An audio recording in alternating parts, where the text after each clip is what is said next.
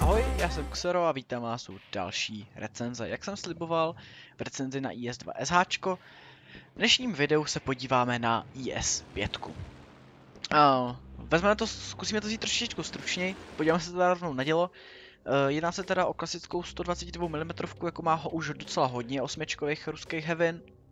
Je to stejný dílo, jak má například Defender, právě IS-2 SH, anebo například IS-6, to nový díl s vysokou penetrací. 5 ran, 5 ran za minutu, to znamená 2000 poškození za minutu, 221 penetraci na základním APCR, výhoda APCR oproti AP je, že lítá mnohonásobně rychleji, nicméně uh, má nižší normalizaci, tím pádem má trošku tendenci dingat sklopený pancíř a pak 270 na heatu. Nevýhoda heatu je, že by neměl procházet přes představný pancíř, nicméně v blicu prostě prochází a nestrácí uh, penetraci na vzdálenost což právě APC jako ztrácí velmi. 61 mm penetrace na héčku, uh, umožňuje vám to probíjet nějaký tanky, uh, například ze zadu, ale je to v celku spolehlivý na, na takový ty špice a na 44 ze zadu a Pershingy a 34 takovýhle věci. Damage je klasický po 400 na obou typech munice, potom 500 na héčku. Co se týče disperze, respektive přesnosti, je to uh, 0,39 a čas zaměření 5,9 z maximálního kruhu, s tím, že já teda oba tyto aspekty podporuju, nebo respektive ten aim time podporuju uh, v položce vybavení uh, gunlaying drivem a vertikálním stabilizátorem. Co se týče uh, vlastně výdrže, tak tento stroj má v základu 1550 HP, který teda boostuju uh, kouskem vybavení uh, na přidání HP, který vám přidává 80 HP. Co se týče pancíře ze předu, to je 120, s tím, že tady na té vrchní štice to je kolem 220 až ke 260.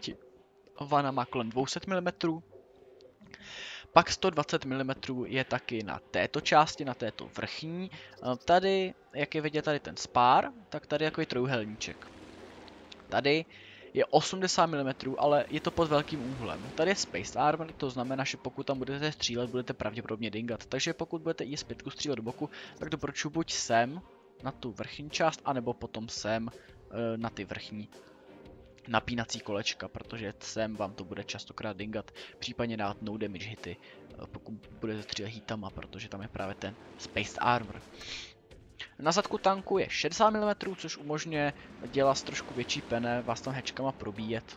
Eh, například Isuna nebo Boris by vás tam měli v celku v pohodě probít a docela by vás to štíplo. Ačkoliv ty vaše HPčka nejsou vůbec nízký, tak eh, ten HP pool by i tak byl docela narušen tímto, řekněme.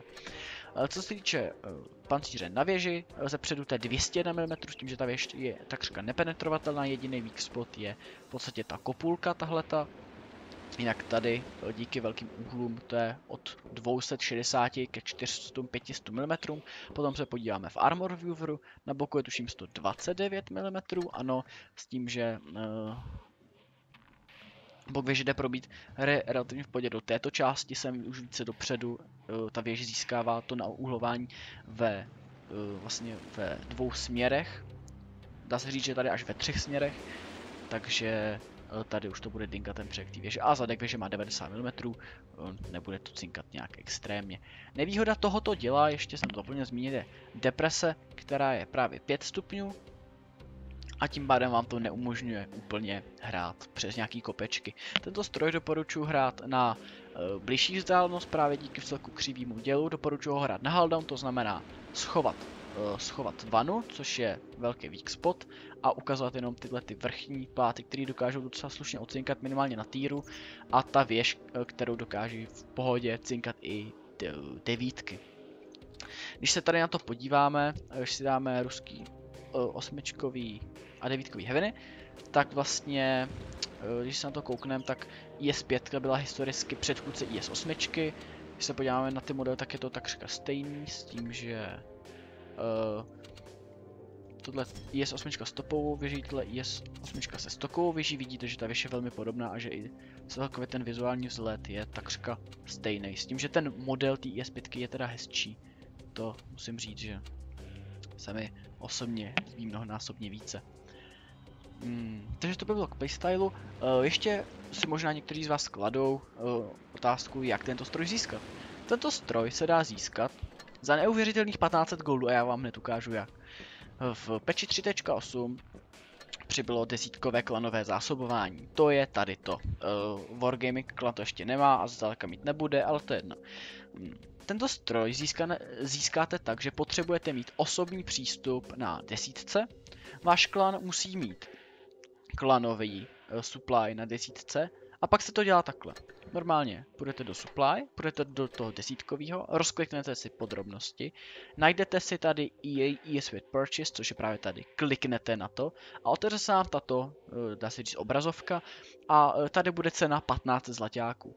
Tento stroj bude stát opravdu pouze 15 zlatáků, 15 zlatáků za osmičkový prémia, který není vůbec špatný, ale ani nějak strašně dobrý.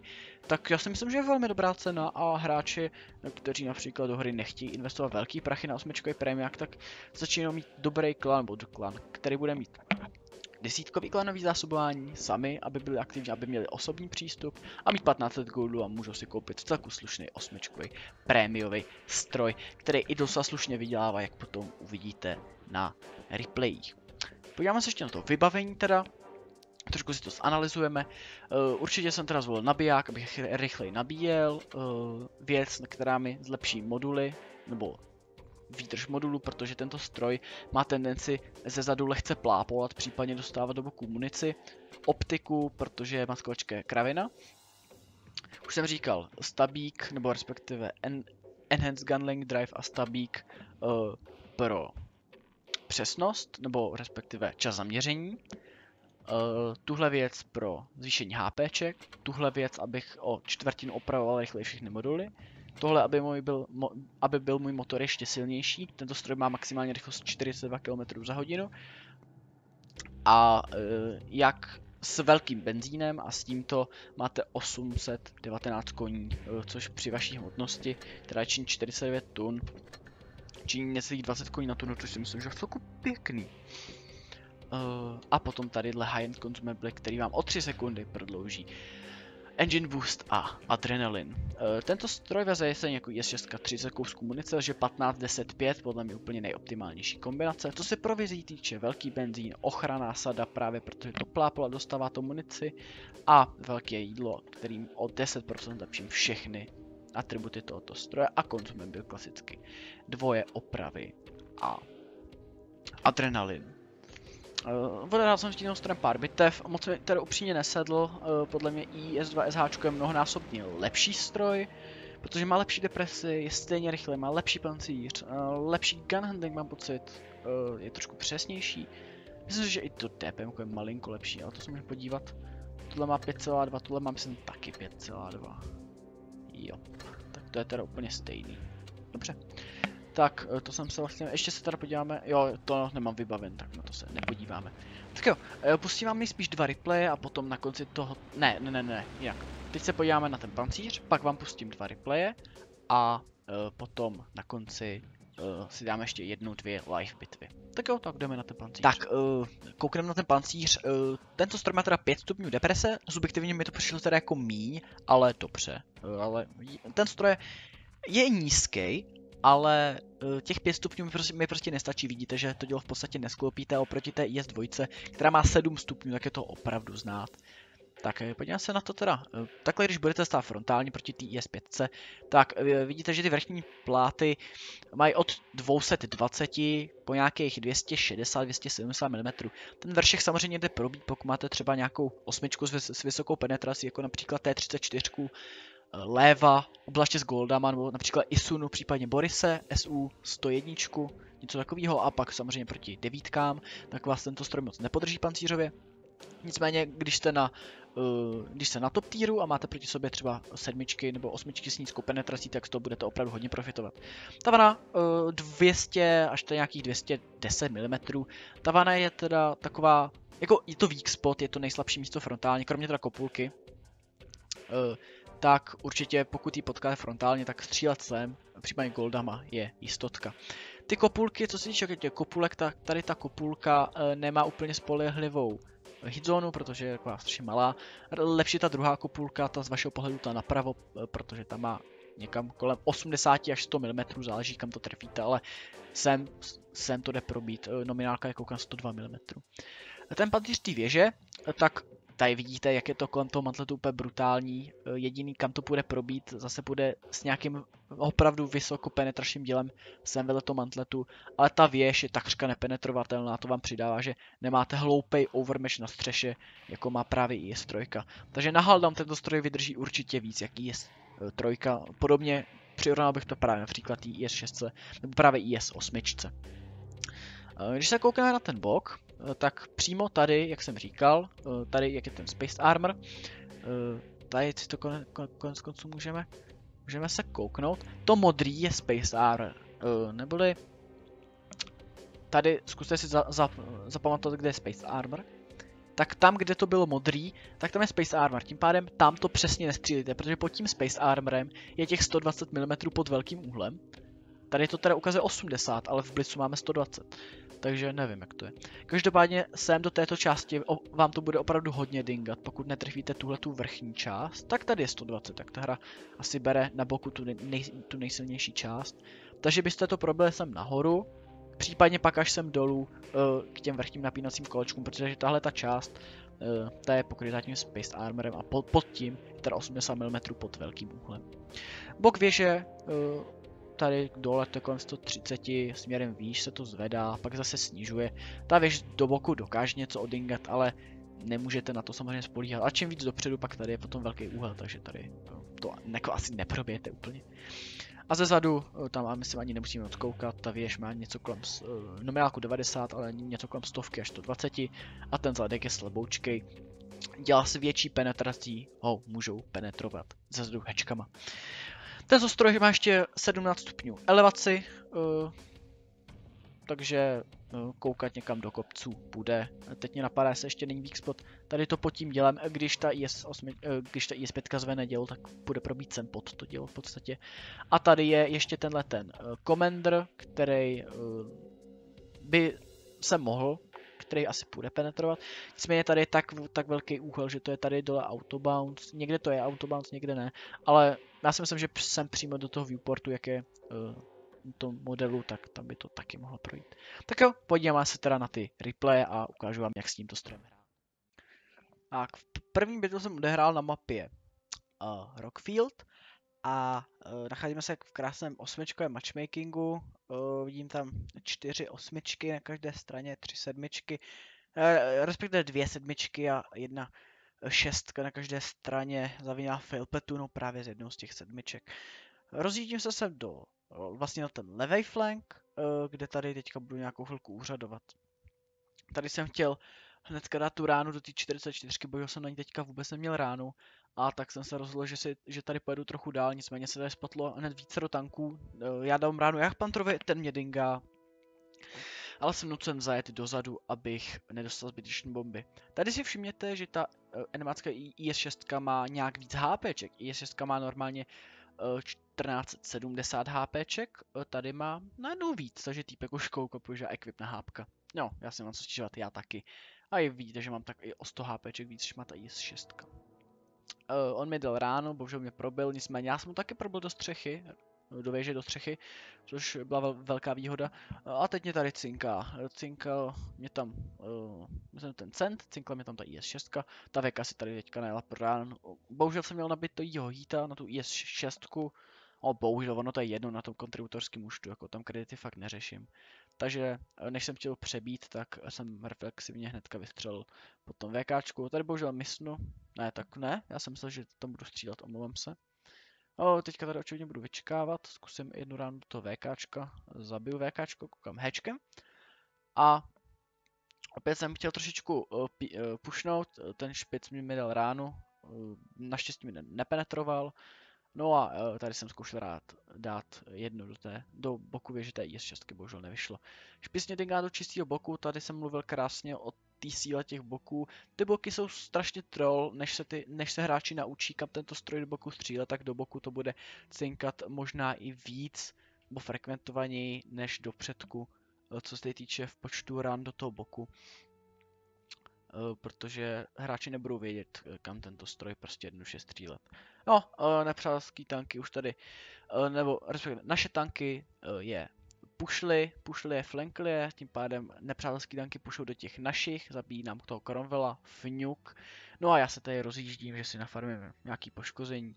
Uh, předtím než vystřelím, tak si zpomalím, aby se mi dělo doměřilo na auto aim na zadní část IS-6, což si myslím, že vždycky, když máte takhle, eh, když pronásledujete nějaký tank, tak před výstřelem bych si trošku zastavil, eh, abych aby se mi dělo trošku stáhlo, aby se mi kruh stáhnul zabil jsem IS-6 a nyní ještě stihnu jednu ránu do té 44. Celku slušná hra, 2000, no, 3000 damage, eh, druhá třída, uh, to je přeživší, nějaký Spartan, co si.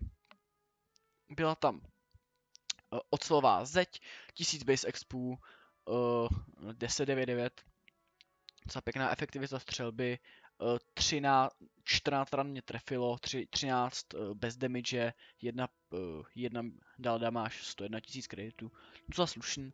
Uh, ta, ta druhá hra bude, dá se říct, v podobném nádechu, až na to, že se nacházíme na mapě Port Bay, což znamená přístavní zátoka, tady myslím v češtině.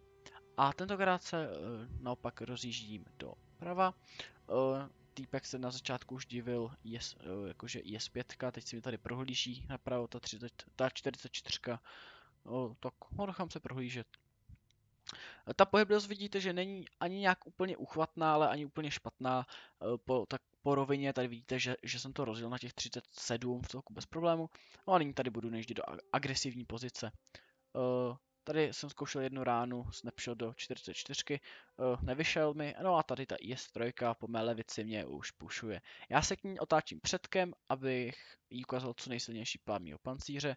Dávám jí ránu, on mě bohužel taky dává mi drivera a teď si mě chce flanknout 44. Bohužel tady narazila pro ně, bohužel tady narazila do šutru a než zajel, tak se mu chtěl dát šťastnou ranou eh, ze třetí osoby munici. Takže tady kdybych ji nezabil, tak by mi ještě mohla způsobit nějaký problémy a měl bych ji na tři rány, tím pádem bych eh, ztratil hodně potenciálního poškození, který se tady teďka budu muset střílet eh, do té IS-3.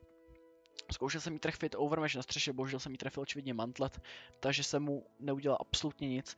No a tady to STAčko, já zkoumám, jestli do něj můžu vystřelit Hčko, tak abych ho penetroval za pěkný pěti za pěknou pětistovečku, uh, nestalo se, tak když střílím normálně APCR, vidíte, že tam ten granát letěl opravdu velmi rychle na tu větší vzdálenost. Přijíždí IS-6, IS-6 si zapomněla, že jsem tady, takže jsem mu dal hnedka jednu ránu. No a zajíždím si za tenhle kámen, kdyby ta IS-6 do mě chtěla střílet, aby prostě nemohla, aby byl krytej, to samý to STAčko. Je strojka teďka vystřelila, to znamená, že já vím, že mám čas, můžu si bez problémů na něj vyjet. Týpek si nezajel dostatečně, takže jsem mu dal ráno předtím, než zajel a já si sám zajíždím a čekám, co se dál vyvine. Je strojka nemá jaksi náladu na mě nějakým způsobem pušovat a jelikož já jsem ještě takřka plnej, tak já na ní zapušuju. Zapušuju na něj, uh, dám mu ránu, uh, on mi bohužel dá ránu taky, pokud se nepletu, ale teďka ho zabije. Ne, nezabije, protože teď, teď, teďka to bude vtipný. Naše IS ho misnula, on je facehugne, takže co mě napadlo? Nabít Hčko. Ale já jsem trefil ten Space Armor do boku a nic to neudělalo. Nicméně on mě cinkl očividně do věže, uh, takže ta IS-3 našeho pak zabila. Mi se tady podaří dát ještě jednu sneaky ránu tady do té IS-6, což bude všim právě za chvilku až vyjede. Přesně teď. No a uh, tímto uh, moje nadvláda v této bitvě končí. Ještě si nabím adrenalin, kdybych náhodou stihl, nebo respektive mohl do něčeho střílet, ale už se nestane. Takže tato bitva byla výsledkově o něco lepší, uh, viděli jste v obou bitvách krásnou ukázku toho pancíře, uh, jako, jak to zhruba hrát na blízko, na hull down, podle mě takhle nějak. Druhá třída high caliber, spojenec 3300 damage, uh, 111 000, 110 tisíc kreditů, 1000 base expů opět, dost podobné bitvy výkonově uh, i výsledkově. Uh, 8 ran mě trefilo, 4 penetrovali, 4 ocinkali. Ta první bitva byla taková lepší, co, se týče toho pancíře. Tak jo, jdeme na ten, jdeme na tu live komentovanou bitvu, jenom jednu tentokrát. Tak, uh, pustíme si teda nějakou tu bitvu. Mm, namontoval jsem si na tenhle stroj tu novou Camouflage Man's Best Friend, což uh, má znamenat uh, jakoby, je na ty kamufláži psí tlapka, pes je nejlepší přítel člověka, že jo, takže asi tak. Jenom si to tam dám pro stranu, jak to je strašně cringe a uh, dávat na tank psí tlapku je, jako, nevím, teď mě nenapadá žádná správná metafora, ale to je jedno. Tak, pustíme se do toho. Je dost možné, že dostanu neskutečný fokus, mm, když jsem hrál, byl jsem na uh, Copperfieldu, tak jsem jel nahoru, měl jsem za sebou, byli jsme v devítkách, měl jsem za sebou devítkový support, najeli na mě včetně ST a Conqueror, zabili mě, oni oba umřeli na můj tým, takže vyměnili dvě heavinové devítky za jednu osmičkovou heavinu. A pak se, pak to, pak když jsem jim jakože napsal, jakože jestli to byla potřeba mě takhle vyfokusovat, tak mi psali takový jako příjemný věci, že, že nemám být gold noob a takhle, tak Nevadí. Tak, každopádně, mám tady kennel, já, jelikož jsem strašně moc medium a light tank driver, tak s, he s heavinama obecně moc hrát neumím, takže i, jedu s tou IS-5 na mid. E, ta IS-5 má 275 metrů dohled s optikou, s tím velkým žrádlem, takže to není určitě tak na spocení, 275 metrů není vůbec mnoho, což je nám asi jasný. Nicméně tady bych si mohl na farmě nějaký poškození, 470 roll to jde, to pěkně docela. A uh, uvedu příklad, například, uvedu příklad, uh, tento stroj má stejně HPček jako stoková IS-8. Uh, jako 1640, uh, 1630 na 8. týr je fakt hodně slušný. Vím, že například, vím, že například uh, T34, která má baseu 1600, tak má skoro 17 HPček s tím, s tím ekvipem na ty hápka. Nicméně i tak, já si myslím, že ten nástroj jak jsem na něj, ne já jsem, když jsem ho začínal hrát, tak mi strašně nešel. A já si myslím, že to, že to není tak špatný. Trošku jsem si na ně zvykl. Takže dva, dvě HPčko mu nechám. Každopádně vidíte třeba jako hraju, teď mi bohužel najela E25 na zadek, což je docela problém. Já mu ukážu na, takhle nauhlovaný pokozadek. A s tímhle strojem, to jsem nezmínil, dá se s ním výborně dělat reverzní sidescrap. Reverzní sidescrap spočívá v tom, že vlastně děláte normální sidescrap, ale vlastně se otočíte a tím pádem ne, neukazujete tu štiku. Jak teď jste viděli docela, krás, docela, docela dost pěkný, až krásné využití pancíře, z toho, že do mě to padekilo ocinkalo asi tři rány. Protože mě probilo jedno tručko, pak jedno to padekilo. Takže tento stroj uh, vám bude i cinkat docela, jako takhle si narovnat pade stovčičku, jako proč ne, že? co si bude. Tak. Když se tak, no, hra, hra měla dvě kousek minuty, já si myslím, že to, uh, že to na jednobitvovou ukázku stačí, ještě si rychle poradím číslička, not bad, not bad, i nějaký kredit jsme vydělali, tak to by bylo teda IS-5 naživo. Tak jo, já doufám, že se vám tato recenze líbila. Pokud ano, můžete toto video ohodnotit lajkem a můžete dát také odběr na můj kanál, aby vám nevykl další videa z mé tvorby.